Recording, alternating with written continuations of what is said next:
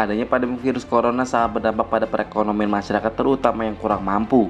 Maka dari itu Kodim 1207 berdiri sendiri mengambil langkah dengan membantu masyarakat yang kurang mampu di Kelurahan Kampung Dalam Bugis, Kecamatan Pontianak Timur dengan membagikan berupa sembako Minggu 26 April 2020.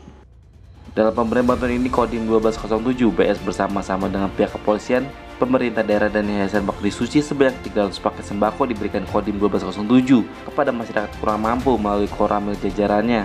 Khusus untuk di wilayah Pontianak Timur menerima sebanyak 100 paket bantuan. Dan Dim 1207 BS Kolonel ARM Stevino Janan mengatakan pemberian bantuan untuk masyarakat tersebut bertujuan untuk meringankan kesulitan masyarakat terdampak COVID-19. Untuk bantuan yang diberikan hari ini dibagikan secara serentak. Sebanyak 300 paket sebanyak terdiri dari 5 kg beras, kemudian satu dus Indomie instan. Kami serahkan kepada masyarakat yang betul-betul membutuhkan. Adapun data masyarakat penerima bantuan merupakan hasil koordinasi antara Dadin 1207, Polresta dan Pemkot Pontianak. Di tempat yang sama, Sri Idewati, salah satu warga kampung Beting yang menerima bantuan mengucapkan terima kasih atas bantuan berupa paket sembako tersebut. Tidak hanya itu, TNI Polri juga membagikan 500 nasi kotak kepada 14 RT di Kampung Beting, Kelurahan Dalam Bugis Pontianak Timur.